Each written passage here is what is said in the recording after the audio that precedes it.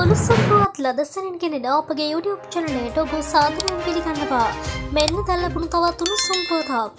යුද සමේදී මියගිය LTTV සාමාජිකයන් සිහි කරමින් පවත්වනු ලබන මහවිරු සැමරුම උතුර නැගෙනහිර කේන්ද්‍ර කරගන්වේ නී පවත්වා තිබෙනවා.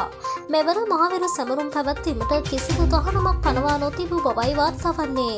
ඒ අනුව කිලිනුච්චිය මඩකලපුව ත්‍රිකුණාමලය අම්පාර යාපනය ඇතුළු ප්‍රදේශ රැසක සැමරුම් පවත්වා ඇත්තේ මියගේ LTT සාමාජිකයන්ගේ පවුල්වල සහභාකිත්තයෙන්.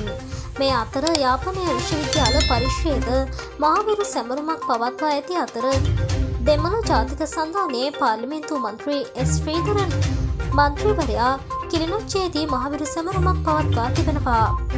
එමෙන්ම යාපනයේ පිහිටේ ඉළඟේ තමිල් අරසු පක්ෂ කාර්යාලයේදීද මහවිරු සැමරුම් වැඩසරාණක් පැවති අතර ඊට හිටපු පළත් සභහ මන්ත්‍රී සිවිකේෂ් ශිවයානම්ද එක්ව සිටියා. මෙවැනි උණුසුම් පුවත් ලදසනින් දැන ගැනීමට අපගේ YouTube චැනලය සබස්ක්‍රයිබ් කර